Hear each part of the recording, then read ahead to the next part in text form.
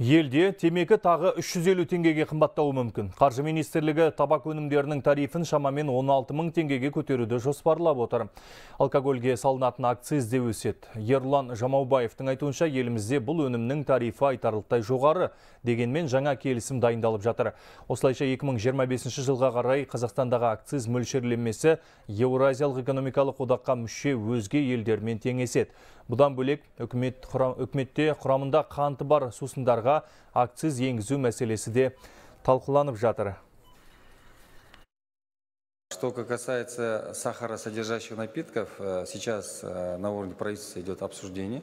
үкіметте қантты сусындар туралы шешімге қатысты талқылау жүріп жатыр баға бойынша ымыраға келген соң хабарлаймыз парламентке келеміз. Мұны тағы да қарастыру керек. Бір жағынан ұлт саулығы екінші жағынан кәсіпорындар зардап шекпеуге тиіс. Сондықтан таразының екі ұшын тең ұстау керек. Өйткені бұл өнім түрінен салық төлейтін бизнес өкілдері бар бюджет мүддесі деуге де болады. Осының бәрі реттеліп оңтайлы шешім қабылданады деген ойдамыз.